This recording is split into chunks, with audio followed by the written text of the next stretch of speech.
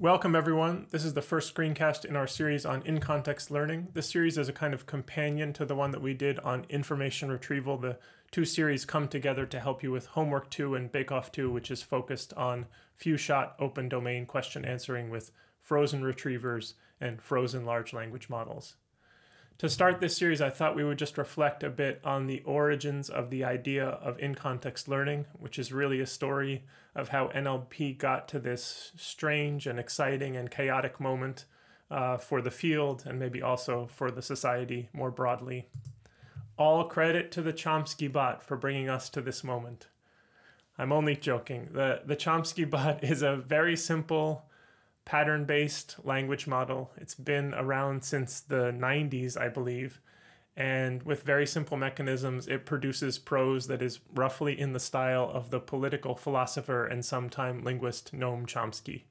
It produces prose that delights and maybe informs us, and the underlying mechanisms are very simple. And I think that's a nice reminder about what all of these large language models might be doing, even in the present day but I'm only joking, although it's only partly a joke. I think when we think about precedents for in context learning, it is worth mentioning that in the pre deep learning era, n-gram based language models, very sparse large language models, were often truly massive. For example, Brants et al. 2007 use a 300 billion parameter language model trained on 2 trillion tokens of text to help with machine translation. That is a very large and very powerful mechanism with a different character from the large language models of today, but it is nonetheless worth noting that they played an important role in a lot of different fields way back when.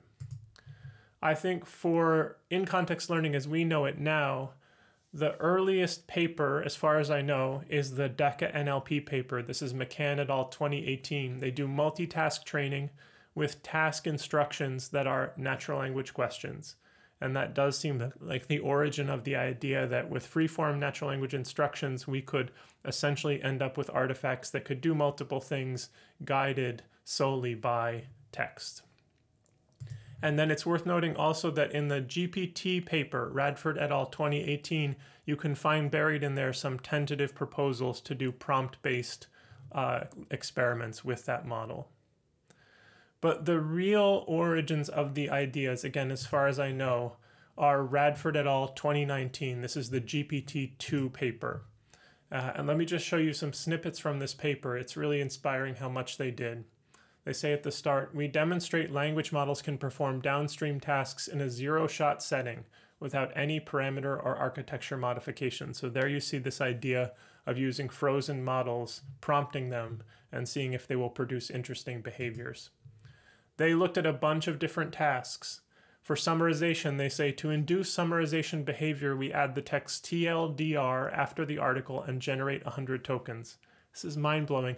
I remember when I first heard about this idea, I had such a cognitive bias against in context learning of this sort being successful that I assumed what they were trying to say to us is that they had trained that token uh, in a task specific way to do summarization and then just kind of given it a colorful name. But no, they really meant it. They simply prompt the model with this token and look at what comes out. For translation, they say we test whether GPT-2 has begun to learn how to translate from one language to another.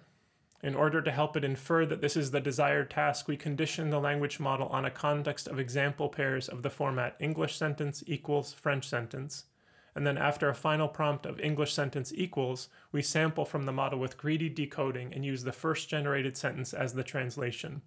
Incredible, and what you see emerging there is this idea of demonstrations, including in the prompt some examples of the behavior that you want as a way of coaxing the model to do what you would like it to do.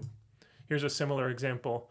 They say similar to translation, the context of the language model is seeded with example question answer pairs which helps the model infer the short answer style of the dataset. So that's for QA. And again, they started to see that demonstrations could help the model see what the implicit task instruction was. And they also, in the paper, evaluate a bunch of other things, text completion, Winograd schemas, and reading comprehension, and maybe others. It's a very impressive and thorough exploration, very open about the benefits and limitations of the methods, a very impressive and creative paper. that was the beginning of the idea in terms of research. The cultural moment certainly arrives with the GPT-3 paper, Brown et al. 2020, which is also impressive in its own ways. And here I'm just going to quote from the abstract and we can linger a bit over what it says. They start, we show that scaling up language models greatly improves task agnostic few shot performance, sometimes even reaching competitiveness with prior state of the art fine tuning approaches. We could quibble with whether or not they actually saw competitiveness in that sense, but it is absolutely true that they got very impressive behaviors out of their model in this task agnostic few shot setting. Specifically, we trained GPT-3, an autoregressive language model with 175 billion parameters, 10x more than any previous non-sparse language model, and test its performance in the few shot setting. There are two things I really like about this part. First, 175 billion parameters is indeed incredibly ambitious and impressive, even today, to say nothing of back in 2020. And I also really love that they mentioned non-sparse language model, a nod to those n-gram-based models that I mentioned before, which were often truly massive. For all tasks, GPT-3 is applied without any gradient updates or fine-tuning, with tasks and few-shot demonstrations specified purely via text interaction with the model that's nice. You might think in retrospect that they're kind of repeating themselves here. They've already established that these are going to be frozen models, but I think it's necessary for them to do that because this was such an unfamiliar idea. And I can imagine, again, being a reader of this paper and assuming that they can't really mean they're just using frozen models for all these tasks. Surely there is some fine tuning somewhere. And so they are emphasizing that, in fact, the model is entirely frozen. GPT-3 achieves strong performance on many NLP datasets, including translation, question answering, and cloze tasks, as well as several tasks that require on-the-fly reasoning or domain adaptation, such as unscrambling words, using a novel word in a sentence, or performing three-digit arithmetic. I love this, a real diversity of tasks, and what I think you can see them doing is really trying to push the limits of what would be possible in this mode. At the same time, we also identify some data sets where GPT-3's few-shot uh, learning still struggles, as well as some data sets where GPT-3 faces methodological issues related to training on large web corpora. I also love this sentence. It's again very open about what they achieved and where the limitations are. They're acknowledging that they found some tasks that are still hard for the model, and they also acknowledge in the paper that they had some sort of minor slip ups where they intended to make sure they hadn't trained on data that was relevant for the test task that they were performing.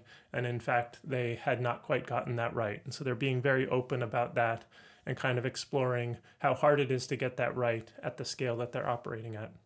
So, just like the GPT 2 paper, a wonderfully open and thorough exploration uh, of the ideas.